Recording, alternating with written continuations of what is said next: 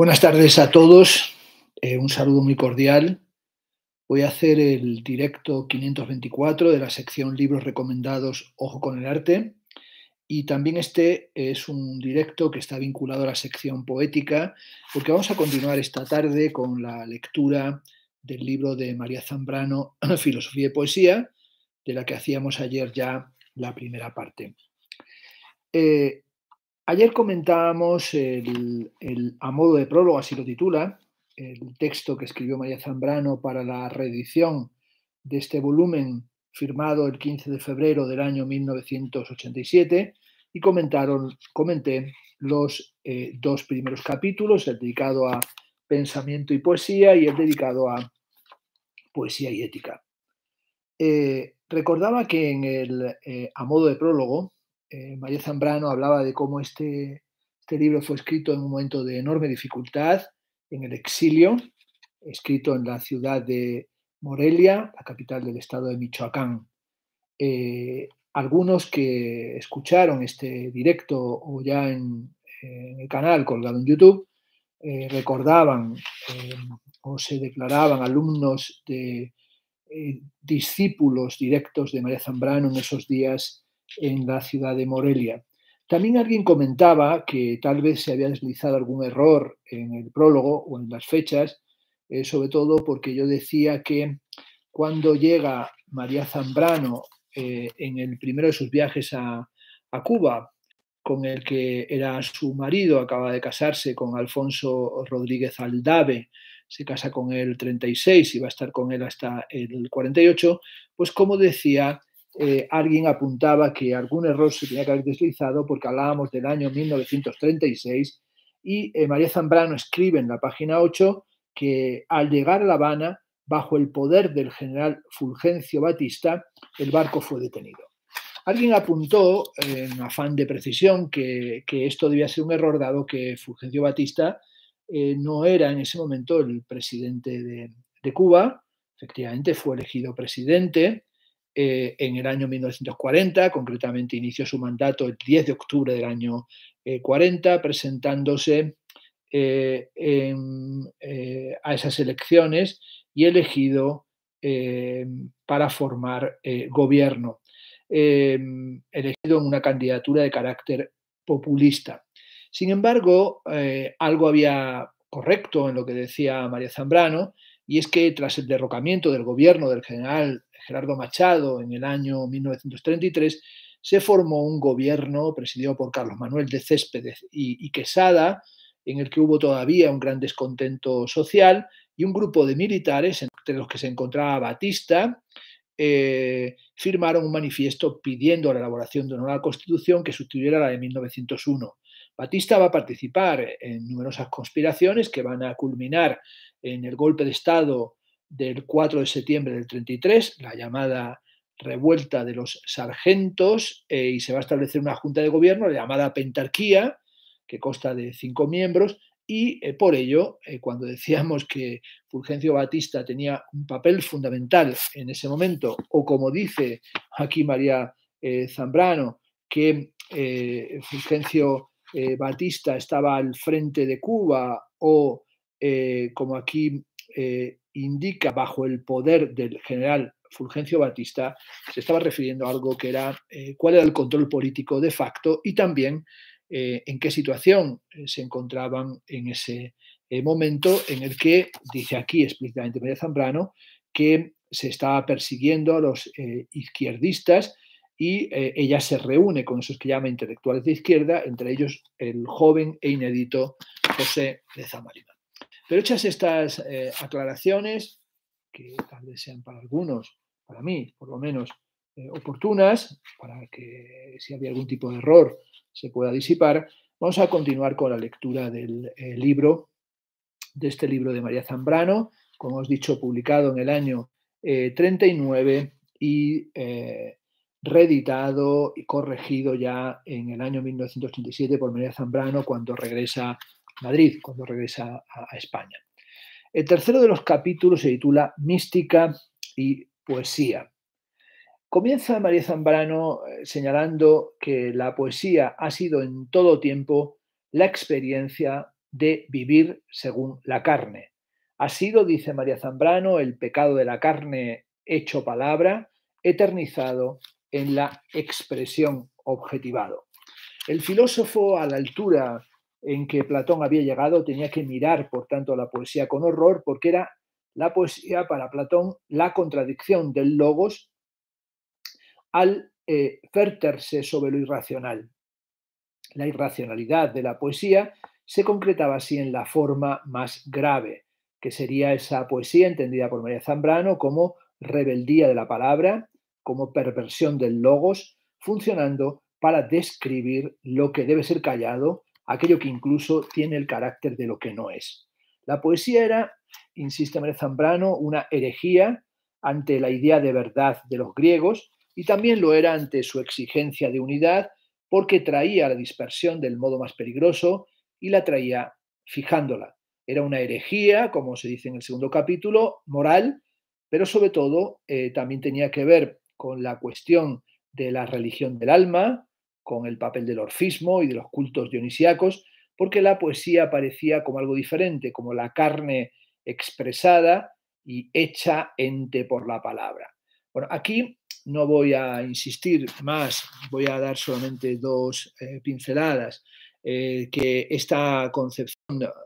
zambraniana o de María Zambrano sobre la relación de la poesía con la idea de la verdad es una concepción que podría ser discutida, no es mi interés, eh, eh, es meramente el de leer y el de animaros a vosotros a leer a María Zambrano, podría ser discutida, eh, por ejemplo, a partir de dos materiales, de dos libros fundamentales. Uno es el libro que siempre menciono con tanta admiración y que en alguna ocasión, tal vez cuando lleguemos al directo 1000 de esta sección de libros recomendados o con el arte, digo mil, que no sé cuándo llegaremos, en algún momento si sigo con este afán de hacer directos, evidentemente podemos llegar, eh, que es el libro de Marcel Detienne,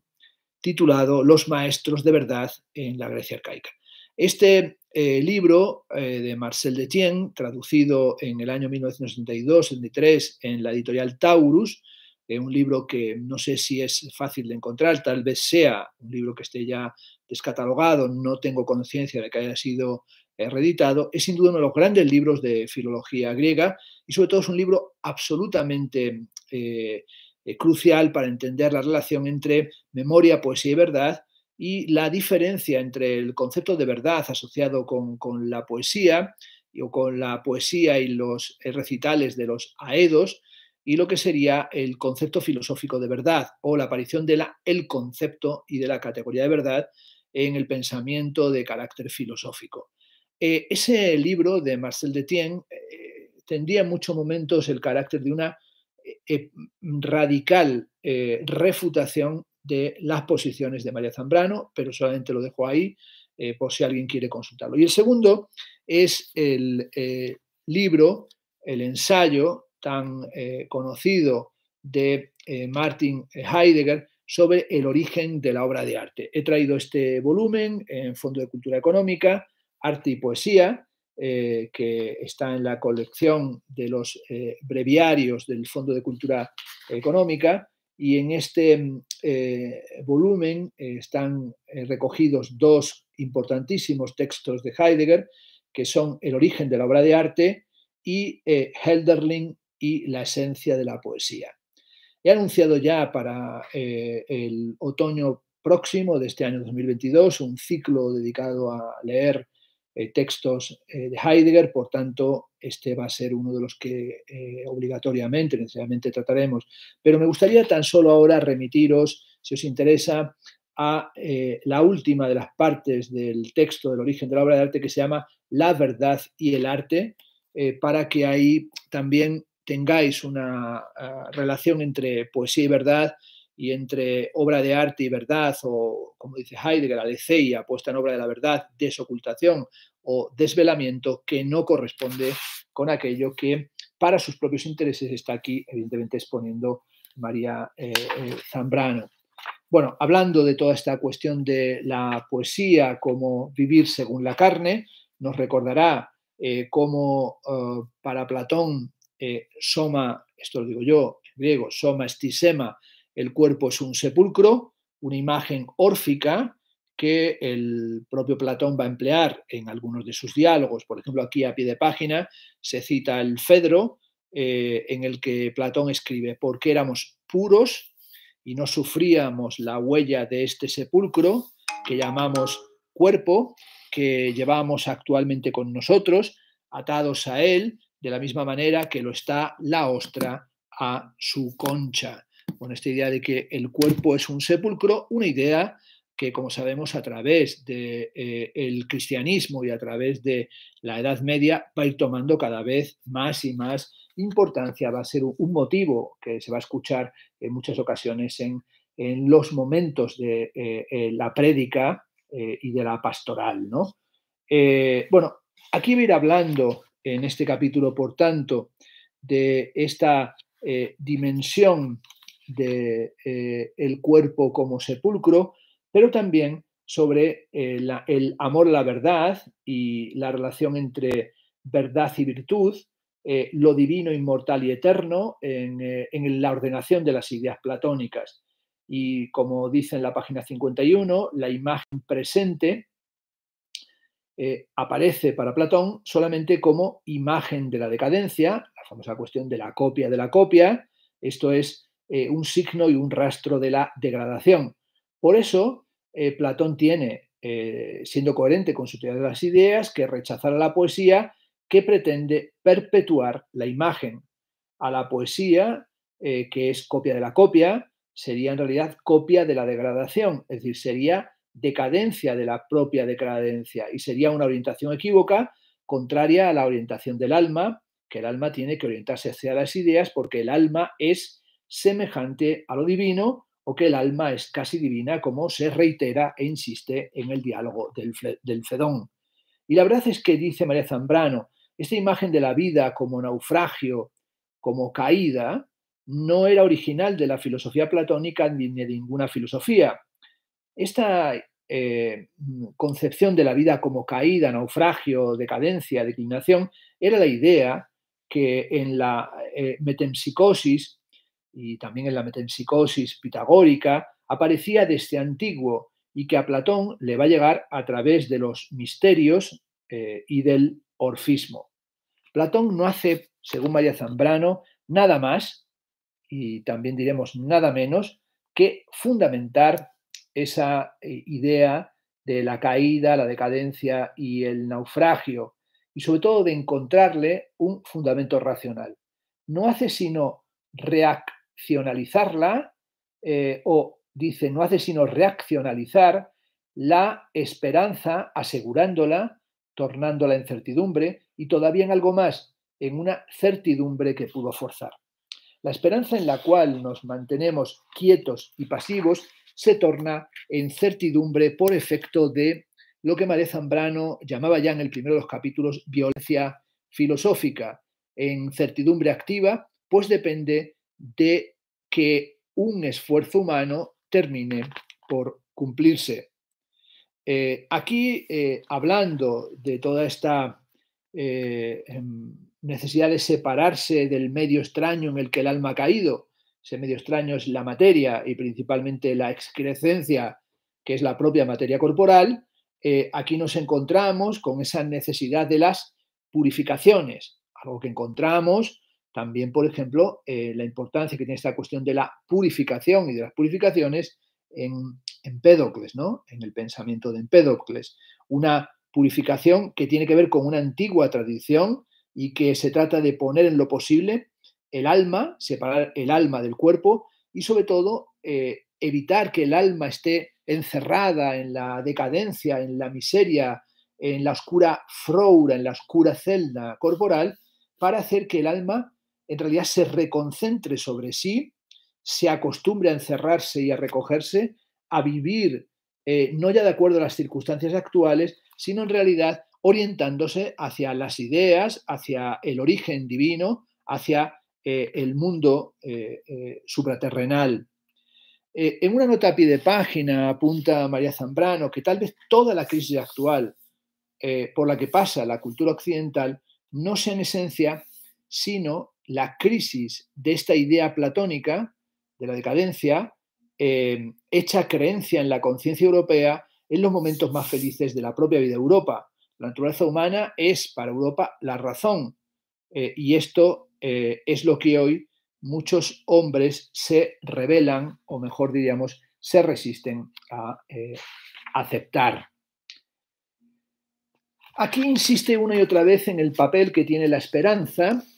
o qué tipo de esperanza ofrece la filosofía. La esperanza de la filosofía ya no depende de los dioses ni del destino. la elección para la vida bienaventurada se hacía por uno mismo. Cualquier hombre podía elegirse a condición de que se eligiera el único camino recto y verdadero, que es el camino de la verdad, es decir, que se resolviese a ejercer sobre su actual condición la violencia reflexiva y arrastrado por ella subir e-, ese camino ascendente,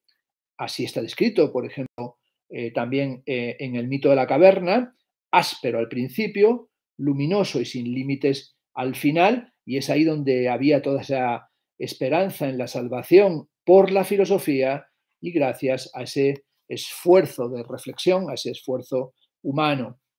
Se trataba, por tanto, eh, de acuerdo a este ideal platónico, de separarse de la carne, o como dice María Zambrano en la página 56, separarse de la locura de la carne, del engaño de las sombras, y el filósofo lo que hace, separándose de la carne, de las sombras, de los simulacros, de la materia, es en realidad recobrar su naturaleza, esa naturaleza eh, anímica que es la verdadera naturaleza humana, naturaleza que no posee eh, y que no consigue sin esfuerzo ni violencia. Aquello de lo que el alma es pariente está, por tanto, no aquí en la tierra, sino en la otra orilla, dice María Zambrano, del río de la vida. La filosofía es así, ya lo decíamos ayer en el primer comentario de este libro, Filosofía y Poesía de María Zambrano. La filosofía es un ejercitarse en el morir y la estancia del filósofo entre los hombres es muy semejante a la de alguien que ha muerto y que por privilegio especial obtenido la gracia de volver junto a los hombres como mensajero de la violencia que hace falta para realizar la conversión. Este es el famoso recorrido del esclavo que se libera del reino de las sombras, ¿no? de, la fascinación de los simulacros en la caverna descrita míticamente por Platón, que consigue contemplar la resplandeciente llanura diamantina de la verdad y que comprende que ese es el mundo verdadero, el mundo de las ideas, y que regresa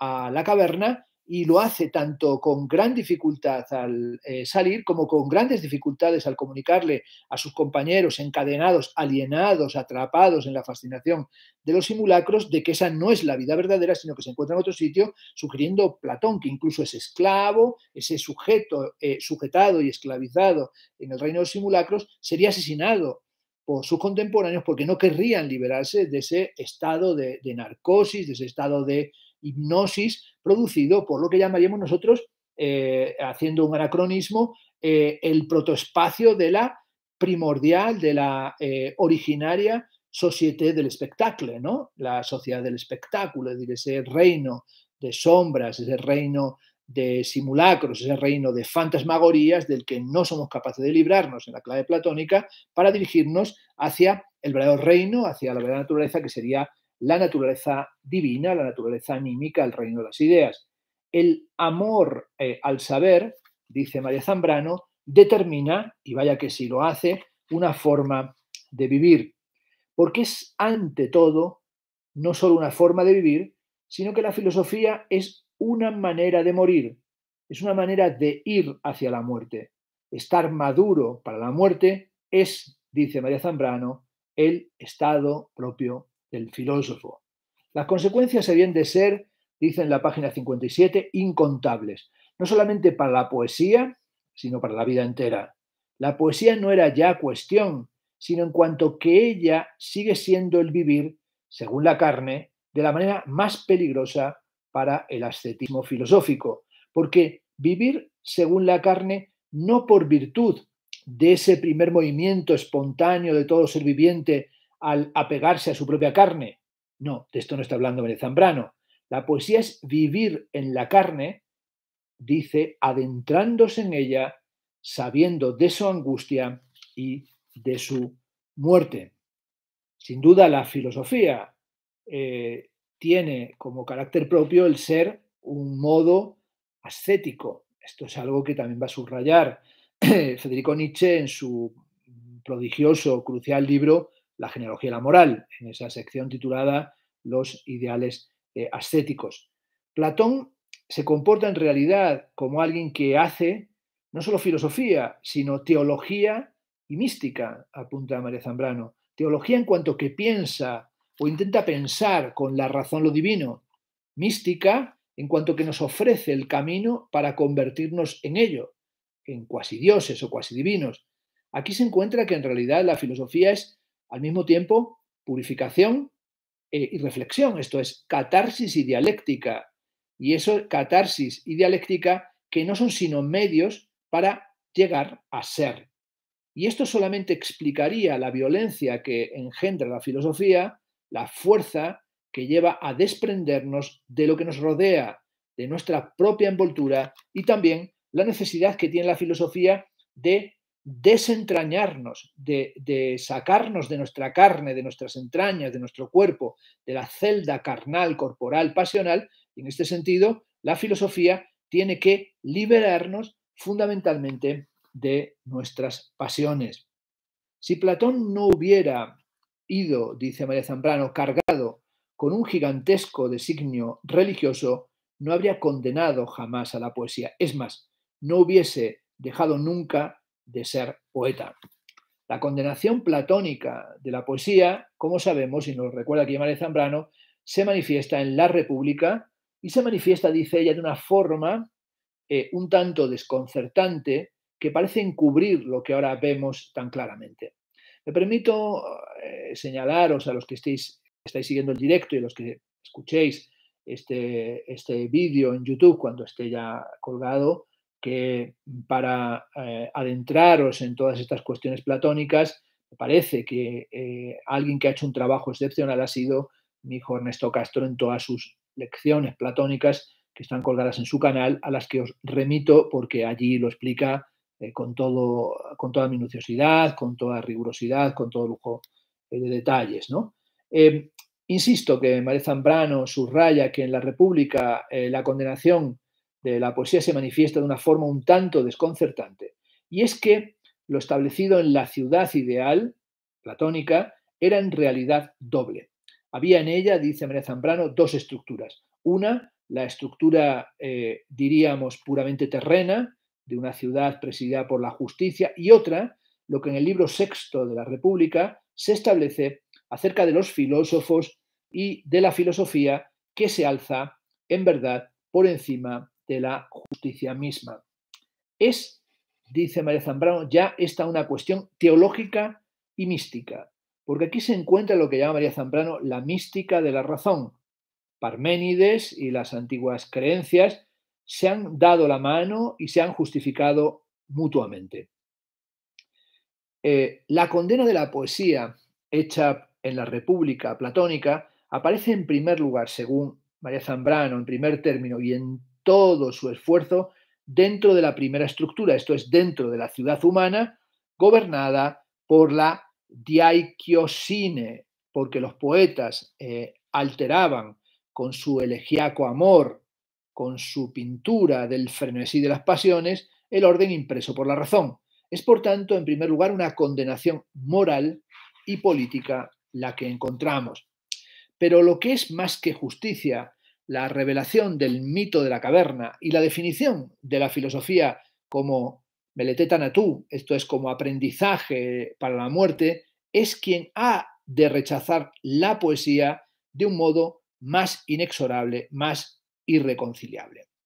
Ante la dicaiosine, la poesía podía hacer su defensa de las apariencias, su apología de la belleza, podía mostrar en definitiva su delirio erótico, su delirio del amor. Mas en esta condena sin resquicio está como fondo lo que llama María Zambrano el designio místico. Y esta es una repulsa profunda eh, y aquí eh, Platón como teólogo quiere salvar las apariencias, las realidades del mundo y comprende que la belleza que late en lo sensible, la belleza que enamora al poeta, es una belleza que tiene que ser analizada.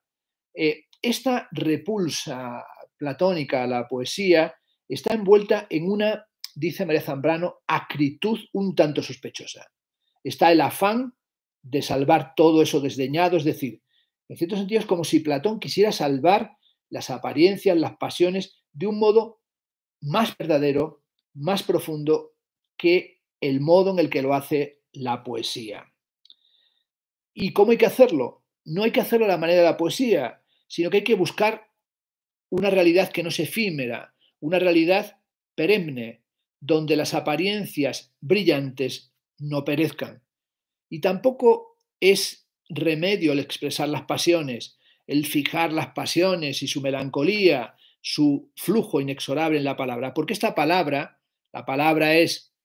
eh, como toda realidad material, sombra de sombra, esta palabra de la poesía no puede darles a eternidad porque no ha extraído la unidad verdadera. Se trata, por tanto, de un problema para la filosofía, que es el de cómo salvar las apariencias, pero más importante que salvar las apariencias está la cuestión fundamental en la filosofía desde sus orígenes y a lo largo de su historia, que es la de que la filosofía tiene por misión crucial salvar el alma, que tiene que aparecer como aquella forma de articulación lógica, de articulación del logos, de, como dice eh, Heidegger, de Legain, de recolección, que en realidad eh, tenga un carácter que no sea meramente cientificista, epistémico, metodológico, sino que tiene que ver con la salvación y con la salvación del alma. Y en ese sentido, la filosofía eh, no solamente combate a la poesía, sino que tiene que presentarse como aquello que ocupa el lugar de una teología arcaica que está siendo desmantelada en beneficio de la auténtica vía de la salvación que se encontraría y de la purificación a través del pensar filosófico. No se podía, dice en la página 61 eh, María Zambrano, eh, llegar eh, a más a una costa de la condenación de la poesía y del desprendimiento de la locura del cuerpo. El logos no podía aún descender hasta la carne. Era necesario, era irremisible que en Platón la filosofía, que es, dice María Zambrano, insiste en ello, teología y es mística, apareciera con irreconciliable enemistad para los poetas y su sueño. La razón decisiva era que se proponía salvar lo que la poesía solamente lamentaba. Pretendía dar vida no a la vida pasajera, sino otra vida, más allá de la mordedura del tiempo, a este mundo adorado de la belleza del que la poesía únicamente supo llorar su destrucción, lamentar su continua muerte, su naufragio en los mares del tiempo. Es decir, María Zambrano aquí brillantemente dice, bueno, es que en realidad quien salva el alma, quien salva las apariencias, quien salva al hombre, es la filosofía, porque en realidad lo único que hace la poesía aparentemente, según la concepción de la filosofía, es llorar y la poesía es un modo de, disposición experiencial casi a la manera de las plañideras, que lo único que nos deja es eh, la amargura propia de la experiencia melancólica o del tono melancólico, es decir, solo llora el carácter pasajero del mundo, de la realidad y de las cosas, solo llora la destrucción y nos entrega a ese naufragio, bella imagen, en los mares eh, del tiempo. Por cierto, un naufragio del que hablaremos prontamente porque aquí en la mesa del despacho se encuentra un libro maravilloso que comentaremos prontísimo, que es el libro de Hans Blumenberg, naufragio eh, con espectador que nos permitirá hablar de esta gran metáfora eh, que es la metáfora del naufragio y cuál es su historia y cuáles son sus características y eh, determinaciones. Sigo con el texto de María Zambrano en la página 61 porque la poesía y sobre todo la poesía lírica era en Grecia llanto, agonía del alma ante la realidad amada que se escapa, llanto ante todo, ante el dolor, ante el placer, ante el amor, ante el amor más que nada, porque en el amor, dice María Zambrano, está la cuestión verdadera. Tenemos que recordar que este es un texto escrito por una mujer, Zambrano, que se ha casado en el año 1936 y que se va a eh, separar o su eh, eh, matrimonio va a ser un matrimonio que va a durar hasta 1948 y que está hablando aquí de esa experiencia del amor y también de la turbulencia que se encuentra en toda la experiencia y en todo el largo proceso del eh, amor. Aquí insiste, el amor es la cuestión verdadera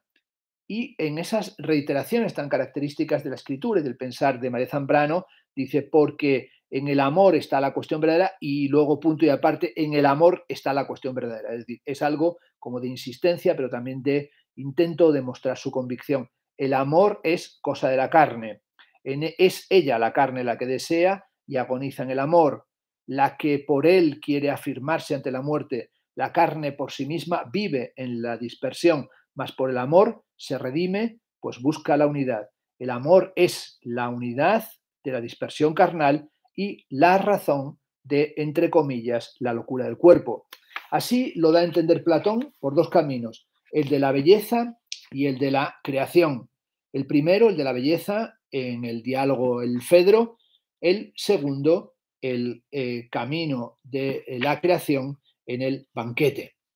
Belleza y creación son la redención de la carne mediante el amor.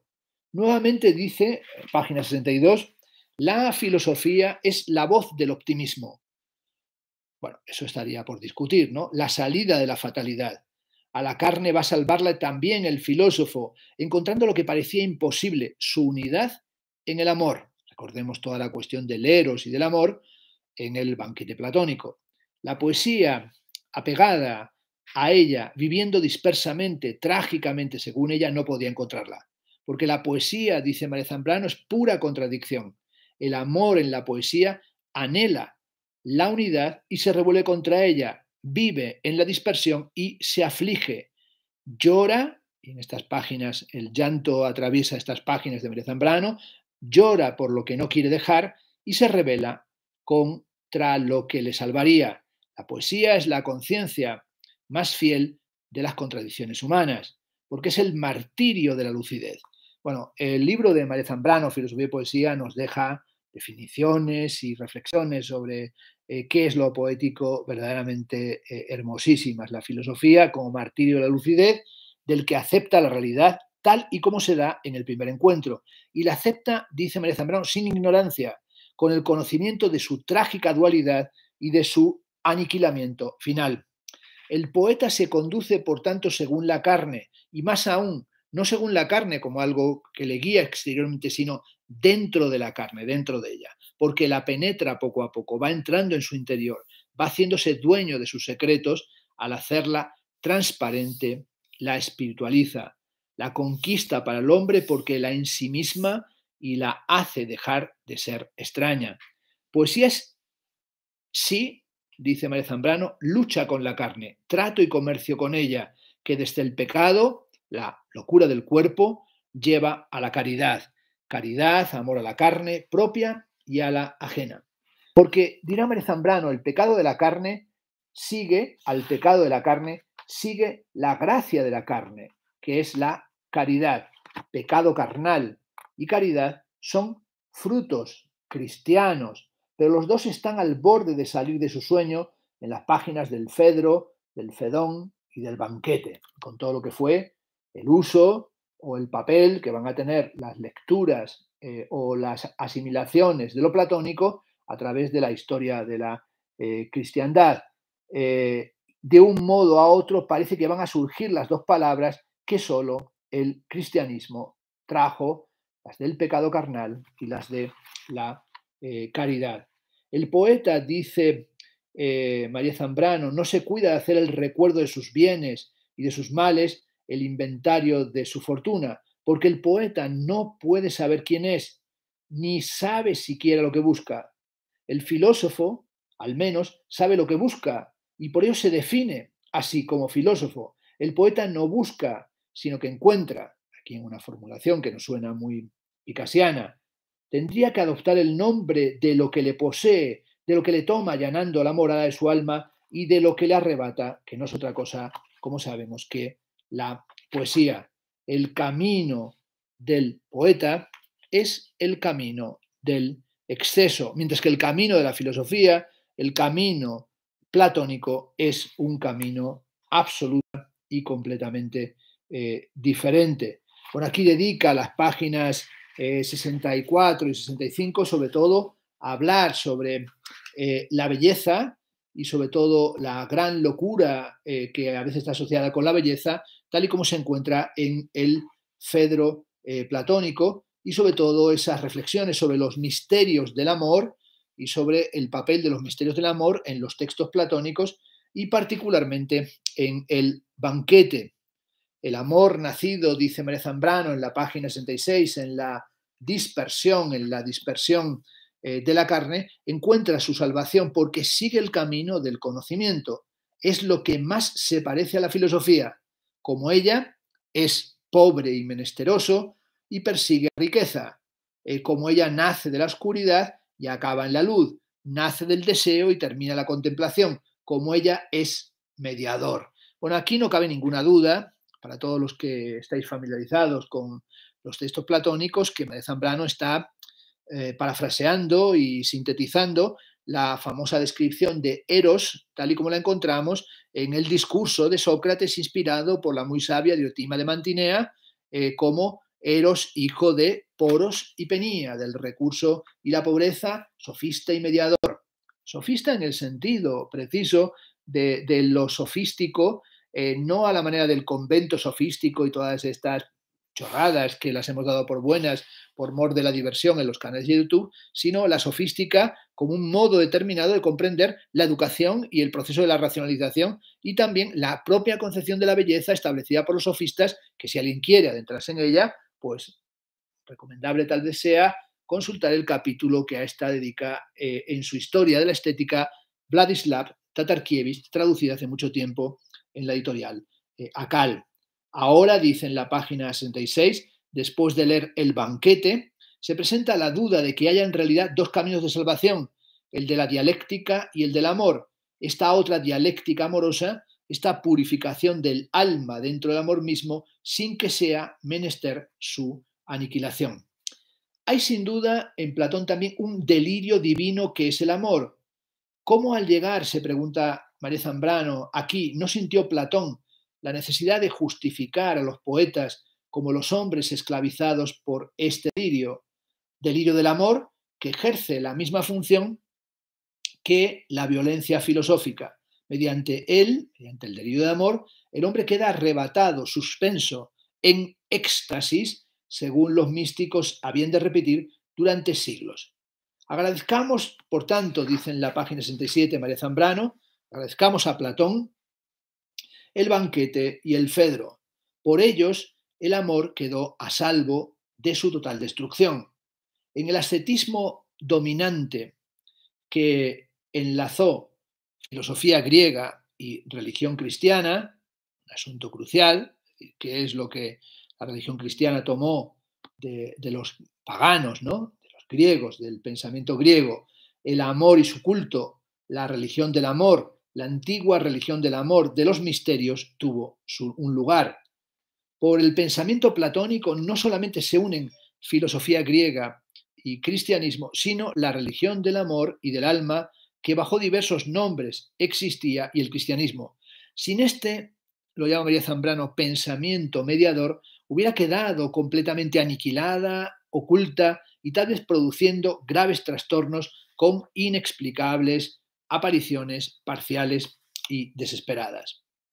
El amor se ha salvado por su idea, es decir, por su unidad. Se ha salvado porque partiendo de la dispersión de la carne lleva a la unidad del conocimiento, porque su ímpetu irracional es divino, ya que hacia lo divino asciende. La idea primera que del amor se crea es, dice María Zambrano, ya una idea mística. Por eso es un gran error lo que a veces se ha dicho, que el amor místico es un trasunto del amor carnal tal y como se da. Es, dice María Zambrano, todo lo contrario. El amor carnal, el amor entre los sexos, ha vivido culturalmente en su expresión bajo la idea del amor platónico que para María Zambrano es ya mística. Y en las épocas en las que el amor, dice María Zambrano, ha sido una fuerza social, en esos momentos al final de la Edad Media y del Renacimiento, todo enamorado manifestaba su amor en términos platónicos, más o menos, y lo que es más grave, si así lo decía el enamorado era porque él mismo así lo sentía, porque así se lo decía a sí mismo. Y así era. Gracias, dice María Zambrano, al platonismo, el amor ha tenido categoría intelectual y social y se ha podido amar sin que sea un hecho escandaloso. Bueno, esta es una cuestión que a mí me apasiona, me apasiona la historia del amor en Occidente, como he dicho en tantas ocasiones, algo tratado ya hace muchos años en el canónico y discutido, por otro lado, libro de Denis de Rougemont, El amor en Occidente, que lo asocia con eh, la herejía cátara, entre otras cosas, y es algo que también tenemos que ver, por ejemplo, en el famoso tratado sobre el amor de Andrés el, Capellán, y es una cuestión, digamos, que tiene que ver con los orígenes también de las concepciones de la poesía eh, occidental. Y aquí nos encontramos con esta visión de el amor salvado como idea, o ese amor que se salva gracias al platonismo y gracias también a las formas en las que la cristiandad tomará cuestiones platónicas, entre otras, la posibilidad de que el amor sea una experiencia social e intelectual y no entendida meramente como un hecho escandaloso. Gracias a esta eh, salvación del amor ha podido existir la poesía dentro de la cultura ascética del cristianismo. La primera poesía, dice María Zambrano, los himnos a la Virgen, la salve, la letanía, tejen con imágenes en parte hebraicas una idea de la mujer divina que el cristianismo primitivo en verdad no comportaba. La divinización de la mujer es también cosa platónica, es un hecho posible merced al pensamiento platónico y a sus consecuencias. La mujer ha quedado, dice María Zambrano en este texto del 39, también salvada porque ha quedado idealizada. ¿En qué medida esa idealización de la mujer sea una salvación, una sublimación o una condena a un régimen de trascendencia que en realidad es un modo fundamental de la sumisión, es algo que aquí María Zambrano no se plantea, pero que sin duda nosotros al leerlo, pues en nuestra cabeza algún tipo de conexiones seremos capaces de hacer, ¿no? La poesía, dice María Zambrano, se cubrió con este manto, vivió y creció prodigiosamente amparada por este firmamento. Y así, toda la poesía de la Edad Media, que no es cínica, burlesca, como lo es, apunta María Zambrano, nuestro alcipreste de Ita, es platónica, aunque dice ella, platónica sin saberlo. Presupone y canta la unidad del amor y también la ausencia. El motivo ausencia en el amor es un motivo claramente platónico que a los historiadores de la literatura les compete estudiar. Ausencia en el amor, dice María Zambrano, porque la presencia jamás es posible y si alguna vez se diera, ya no se cantaría. Esta es una cuestión también importante. Se canta lo que no se tiene, como también la famosa cuestión, ¿no? Se canta lo que se pierde. Es decir, se poetiza aquello que tiene la condición de la ausencia. Bueno, algo sin duda que también para los lacanianos, si es que los hay en el canal, algunos hay, como es el caso de la San Romá, que les interesa a Freud y Lacan y el psicoanálisis, pues esta especie de eh, dimensión cortés o esta cortesía o este amor cortés, esta imposibilidad de la copulación y esta imposibilidad de la penetración, salvo una penetración que solamente es la adoración y la alabanza de la dama para fortificar y subrayar la distancia insalvable en la que se encuentra el poeta eh, eh, insuflado de amor y de amor poético, que a su vez es la condición de su propio devenir poético, de su propia singularización, una justa, ¿no? una justa de la palabra, y esa distancia desamada que además pertenece a un orden en el que no se la puede poseer porque en realidad está sujeta a un orden que es un orden militar matrimonial, es decir, con el que no hay ninguna posibilidad de relacionarse porque se establece un corte, porque se establece una barrera, porque se establece, esto lo digo yo, un hiato. Bueno, esta cuestión de ausencia en el amor, porque la presencia jamás es posible y si alguna se diera, ya no se cantaría. Así, en el cántico espiritual del místico, dice María Zambrano, página 69, San Juan de la Cruz, es el canto de la ausencia del amado. Aquí explicable porque su amado, en efecto, no es visible. El amor conlleva o lleva ya constitutivamente una distancia. Amor, dice María Zambrano, sin distancia no sería amor, porque no tendría unidad, es decir, no tendría objeto.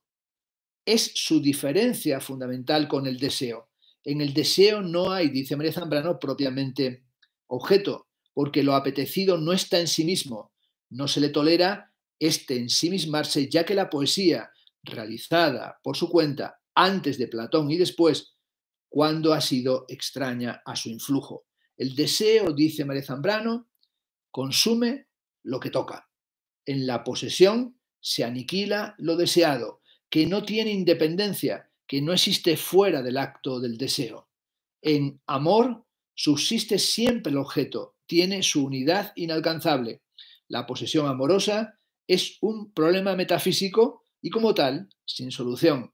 Necesita traspasar la muerte para cumplirse, atravesar la vida, la multiplicidad del tiempo. Esta es una de las páginas cruciales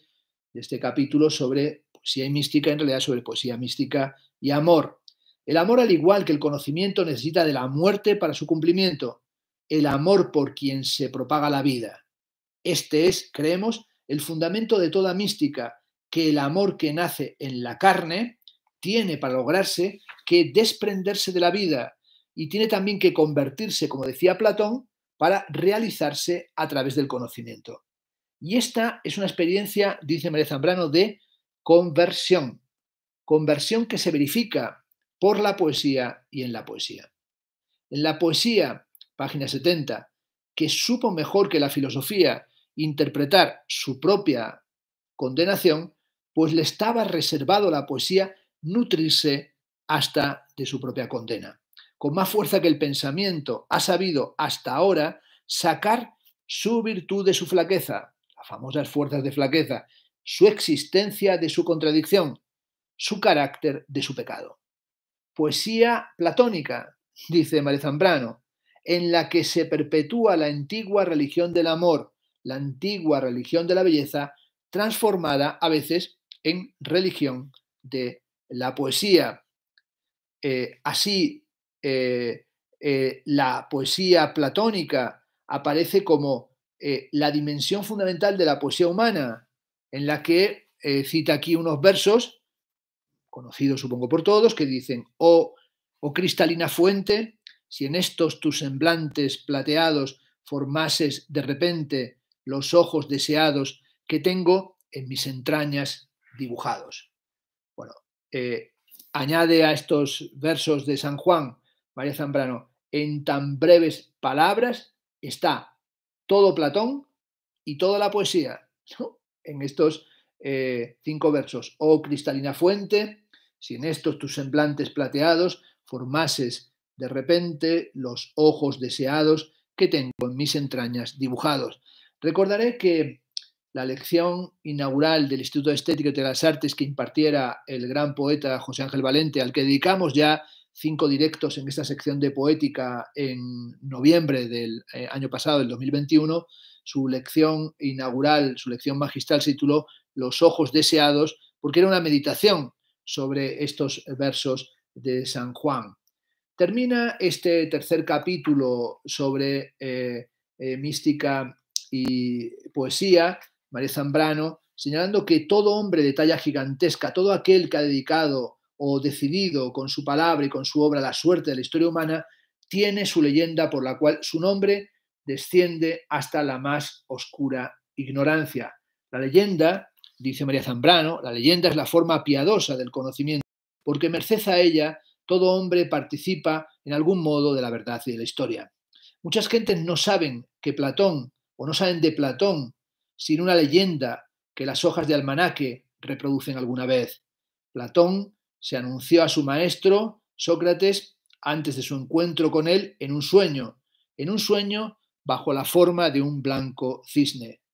Reprimamos, dice María Zambrano para cerrar este capítulo, la sonrisa incrédula de los que han leído mucho y se han ensomberbecido por ello, porque un cisne es un ángel castigado,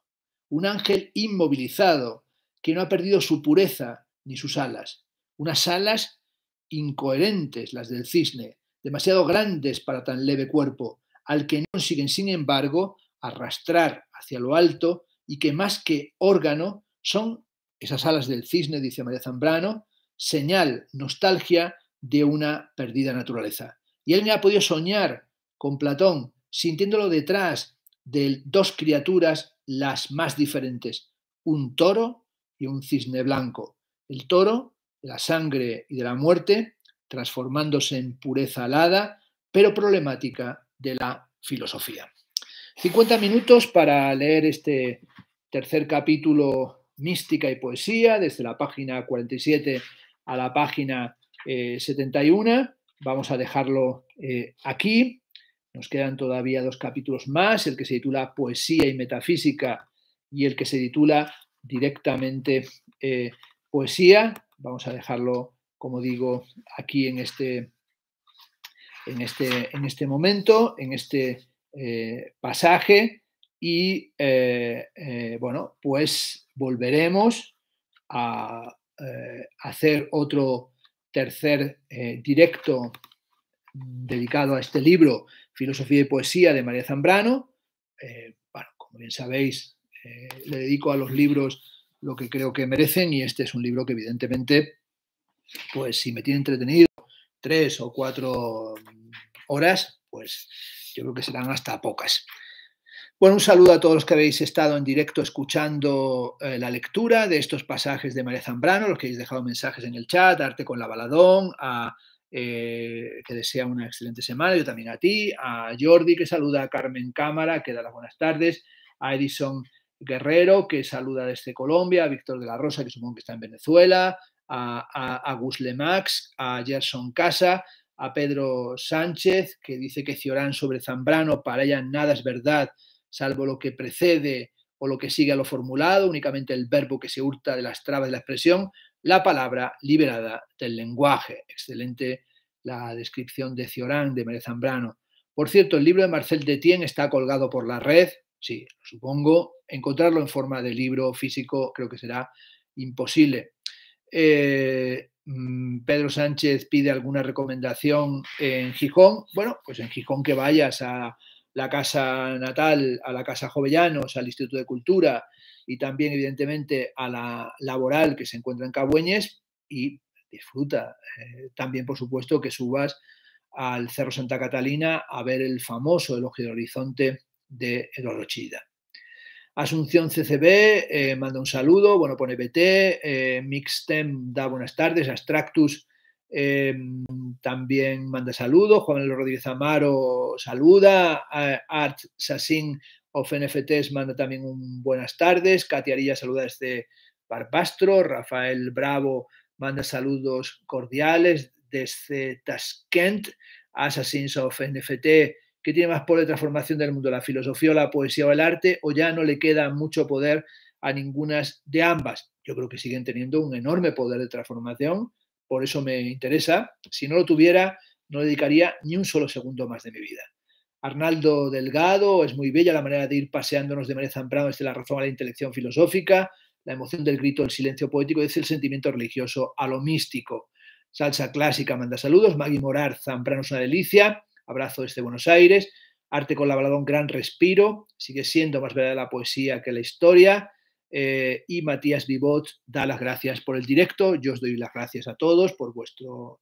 feedback, por vuestro eh, afecto que me llega y os mando saludos y espero que tengáis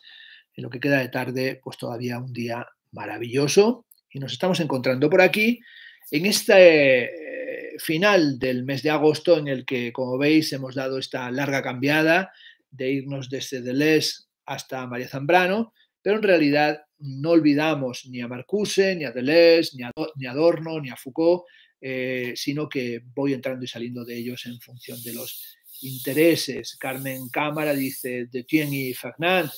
tengo la mayoría de sus libros imprescindibles. Eh, los artistas necesitamos utilizar la metis todos los días, efectivamente. Se refiere eh, Carmen al maravilloso libro que escribieron conjuntamente Marcel Detienne y Jean-Pierre Fernandes, eh, La Metis en Grecia, las artimañas de la inteligencia, ese libro maravilloso también publicado en la traducción de la editorial Taurus sobre la astucia, ¿no? la necesidad de la astucia. Y sin astucia no se puede volver a casa, como bien sabía el más astuto de los griegos y también el más traidor en cierto sentido, que no era otro que Odiseo, ¿no? Salsa clásica, la versada popular es poesía, pues por supuesto, como decía aquel, que es poesía y tú me lo preguntas mientras clavas tu pupila en mi pupila azul, la versada eres tú. Pues un saludo a todos, nos quedamos aquí, o me quedo yo aquí cortando la emisión y que tengáis, como digo, muy buena tarde, muy buena noche, muy buen día. Chao.